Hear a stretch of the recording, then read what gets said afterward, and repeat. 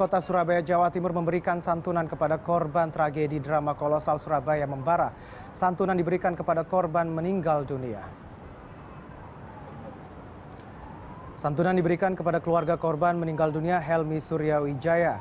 Santunan diterima orang tua korban yang beralamat di Jalan Karang Tembok, Gang 6, Nomor 7, Surabaya. Tidak hanya diberikan kepada korban yang meninggal dunia, santunan juga diberikan kepada korban luka yang saat ini menjalani perawatan di sejumlah rumah sakit di Surabaya. E, kalau yang meninggal itu ada uang duka dari Pak Di Karwo.